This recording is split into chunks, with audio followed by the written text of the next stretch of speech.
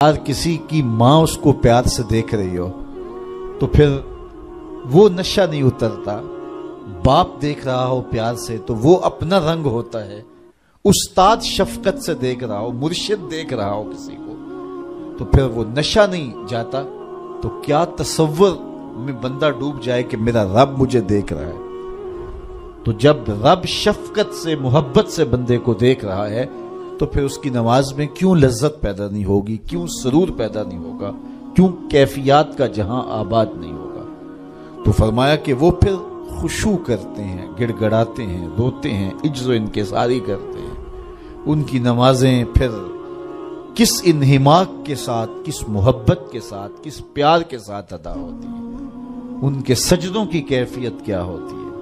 एक रिवायत में आता है, बंदे को पता चल जाए सजदे में जो उस पर रहमतें उतरती हैं तो वो सजदे से सर ही ना उठाए।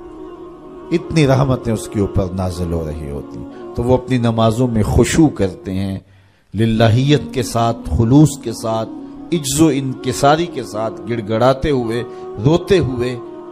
अल्लाह अकबर। हुजूर सलाम जब नमाज़ पढ़ते थे तो ऐसे लगता था जिस तरह हुजूर के सीने में हंडिया पक रही है। इस तरह हुजूर सलाम का जो सीना अत्थर खौफ खुदा से खशियत इलाही से जो है, वो इस तरह हुजूर के सीने की कैफियत थी। हंडिया के उबलने की जिस तरह आवाज़ होती है, अल्लाह अकबर। वल्लजीन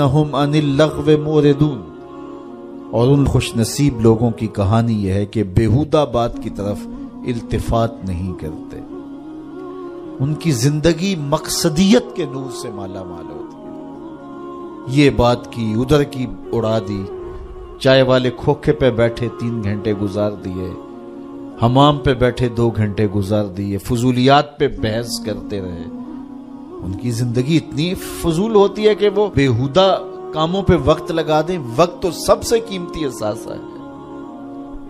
कीमती असासा, सबसे कीमती कमाई। इंसान यूँ तो नहीं उड़ाता। तो सबसे कीमती असासा जो हमें दिया गया वो वक्त। इमाम शाफी फरमाते हैं, मैंने फकीरों से दो बातें ऐसी सीखी, जिन्होंने मुझे बड़ा नफा दिया। चूँकि जो अहलुल्लाह की बातें होती हैं, वो बातों की इमाम होती हैं। क्योंकि उनके मुशाहदात का निचोड़ होता है। हज़रत इमाम अहमद बिन हम्बल हज़रत बिशर हाफी के पीछे दौड़ते थे तो किसी ने उनको कहा कि आप इतने बड़े आलिम हैं तो इस फकीर से क्या तलाश करते हैं? तो इमाम अहमद बिन हम्बल फरमाने लगे कि अहमद बिन हम्बल जिस रब को मानता है, बिशर हाफी उस रब को जानता भी है। तो इनसे बड़ी बातें मिलती हैं। हमें तो कहा, फकीरों की दो बातों ने मुझे बड़ा ही फ़ायदा दिया। उनमें से एक बात ये, अल वक्तो सैफुन कातुन वक्त काट देने वाली तलवार है। अगर वक्त को तुम नहीं काटोगे तो वक्त तुम्हें काट देगा। कहा, इस बात ने मुझे बड़ा नफा दिया और मेरा वक्त बचाया। वरना हमारा कितना वक्त बर्बाद हो जाता है। किसने कितने स्कोर किए जी? किसने कितने जो है वो आउट किए? और कौन किस मैच में कितने जो है उसने स्कोर बनाए? इस पे मैंने देखा दो दो घंटे लोग बात कर लेते हैं। इतना वक्त लोगों के पास होता है। मकसद क्या है इसका? मुद्दा क्या है? टेलीविज़न पे टॉक शो चल रहे होते हैं ऐसे मौजूद पे। तो हैरत होती है कि इतना कीमती वक्त और हम बहसीत कौम खड़े कहाँ इस वक्त दुनिया में? और हमारे पास इतना जायद वक्त है कि हम किन उमूर पे बहस कर रहे हैं? कोई बंदा बाहर से आया ना तो उसने देखा कि फाटिक बंद है और लोग साइकिल सर पे उठा के और मोटरसाइकिल भी जो है वो किसी तरह से घसीट के जो है वो रेलवे लाइन अबूर कर रहे हैं। तो उस, उस, वो बड़ा मुतासर हुआ कि इतनी जिम्मेदार कौम है कि जो गाड़ी के आने का इंतज़ार भी नहीं करती और इनको अपने मकसद पर जाने के लिए, काम पर जाने के लिए इस कदर इनको जल्दी है कि ये साइकिल भी सड़क पे उठा के सड़क अबूर कर रहे हैं। तो खैर, जब फाटक खुला तो वो गया तो देखा आगे बंदरिया का तमाशा लगा था 600 आदमी वहाँ खड़ा था। उसने कहा अच्छा इसकी जल्दी थी सबको। तो हमारा तो कितना वक्त बंदरिया के तमाशे को देखते हुए गुजर जाता है, जब हम बहसीत कौम दुनिया में कहाँ खड़े हैं तो हमें तो अपने एक एक लम्हे की कदर करनी चाहिए। कारोबारी लोगों को भी आगे बढ़ना चाहिए ओलमा को भी अपने वक्त की कदर करनी चाहिए, अवाम को भी करनी चाहिए। हमारे ओलमा का भी हाल ऐसे ही है ऐसे ऐसे मौजूद पे गुफ्तगु करते हैं जो न कौम की ज़रूरत होती है और न उनकी ज़रूरत होती है। लेकिन बस वक्त है कि उनके पास इतना है कि तीन तीन घंटे ऐसे ऐसे मौजूद पे बात कर जाते हैं कि जिसकी कौम को किस तरह से ज़रूरत भी नहीं होती है। तो हम अपने वक्त को ज़ाया करते हैं जो सबसे कीमती एहसास है हमारे पास। हज़रत इमाम अबू बकर बिन दासा कहते हैं, मैं इमाम अबू दाऊद से मिला ये जिन्होंने सुन नबी दाऊद लिखी है।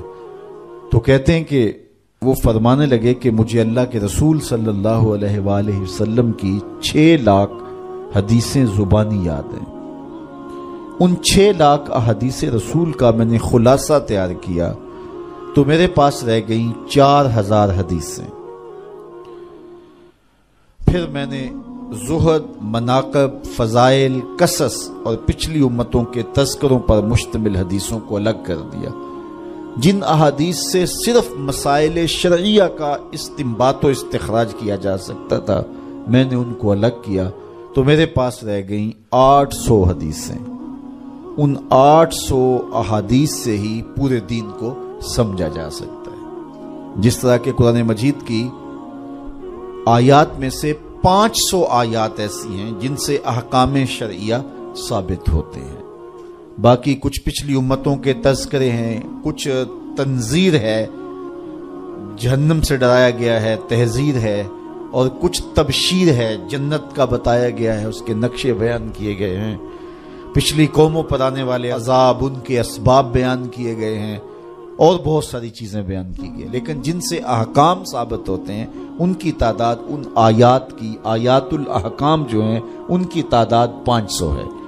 इसी तरह लाखों अहादीस का खुलासा जो तैयार किया तो जिन अहादीस से अहकाम का सबूत होता है और मसाइल शर्या का इस्तेमाल इस्तखराज किया जाता है, उनकी तादाद है 800 तो हज़रत इमाम अबू दाऊद कहते हैं, मैं उन 800 अहदीस का एक और खुलासा तैयार किया तो मेरे पास रह गई चार हदीस से। और उन चार हदीसों के बारे वो फरमाते हैं, असासुल इस्लाम है, इस्लाम की जड़ है, इस्लाम की बुनियाद है। उनमें से एक हदीस ये है, मिन हुसन इस्लाम मर माला यानी है। किसी शख्स के इस्लाम का हुस्न ये है कि वो हर बेमकसद काम को छोड़ देता है, तर्क कर देता है। तो जब बेमकसद कामों को हम छोड़ देंगे तो हमारे पास फिर वक्त का मसरफ बड़ा खूबसूरत होगा। लेकिन हमारा कितना वक्त बेमकसद कामों में गुजरता है। मेरे एक दोस्त कहते हैं, ये जो हम मोबाइल सुनते हैं, इसमें होर सुनाओ, निकाल दें तो कितना वक्त बच जाता है। बात तो एक आधे मिनट की होती है, वो कहते हैं, होर सुना होर सुना तो कितना वक्त इसमें हमारा बर्बाद हो जाता है। तो हम अपने वक्त की कदर करें, एक एक लम्हे की कदर करें। जो कौमें अपने वक्त को बचाती हैं, वक्त की कदर करती हैं, वही सरखरू और सरबुलंद होती हैं। फिर लघव कामों से अपने आप को बचाया जाए। ये उन लोगों की कहानी बयान की जा रही है जो फाले हैं, कामयाब हैं। जिनकी दुनिया भी बेहतर है, जिनकी आखिरत भी बेहतर है। कुरान ने पूरा निसाब दिया है। ये सूरा मोमिन की इब्तदाई ग्यारह आयात, जरा इनको मुलाजा कीजिए। कामयाब शख्स जो दुनिया और आखरत दोनों में फाले और कामयाब है, उसकी सिफात क्या है? इनको हम इख्तियार कर लें। ये इतनी बड़ी बातें हैं कि हमारी ज़िंदगी को नूर देने के लिए ये बातें काफ़ी हैं, चूँकि ये हमारे रब ने हमारी रहनुमाई फरमाई है। वल्लजीन हम अनिल लघव मोरदून। वो लघवियात से अपने आप को बचाते हैं और महफूज रहते हैं लगवियात से और बेहुदा बातों की तरफ़ इल्तफात नहीं करते, तवज्जो नहीं करते। वल्लजीन हम फ़ाइलोन, और वो ज़क़़त अदा करते हैं। अदा करने से दौलत कम होती है। इकबाल ने भी कहा था हुब दौलत तल्फ मी साजत ज़क़़त ज़क़़त दौलत को कम करती है। जब इंसान जक़ात भी नहीं देता अपने माल से तो उसके दिल में दुनिया की मोहब्बत, दौलत की मोहब्बत चिमट जाती है जो उसका चैन छीन लेती है। और अगर जक़ात देता है तो फिर बे दौलत कम होती है। और अगर वो राह खुदा में मजीद सदकात देता है, खैरात करता है तो फिर दौलत की आजमाइशों से और दौलत के साथ जो फितने आते हैं, उनसे वो बच जाता है। दौलत जब आती है तो अपने साथ बहुत सारे फितने लेकर आती है। तो वो फितनों से बचने के लिए सदकात, कसरत के साथ दिए जाएँ, दौलत राह खुदा में खर्च की जाए तो फिर फितनों से भी बचेगा और गुनाहों का कुफारा भी बनेंगे। तो वो जक़ात देते हैं और ये बात जहन में रखें, जक़ात देने से या सदका देने से दौलत कम नहीं होती। मेरे हुजूर ने इरशाद फरमाया, कसम करके इरशाद फरमाया, हज़रत अबू कबशा अल अनमारी रदी अल्लाह तहो से मरवी है हुजूर ने सात चीज़ें इरशाद फरमाई, जिनमें चार चीज़ें हुजूर फरमाया, बगैर कसम के बयान करता हूँ, और तीन चीज़ें मेरे हुजूर ने फरमाया, मैं कसम करके बयान करता हूँ। अल्लाह अकबर, जब हुजूर रब की कसम करें तो फिर कितनी बड़ी बात होगी। तो फरमाया, मैं अल्लाह की कसम उठा के कहता हूँ, उनमें से एक बात फरमाया, मा नाका सा मालो अब मिन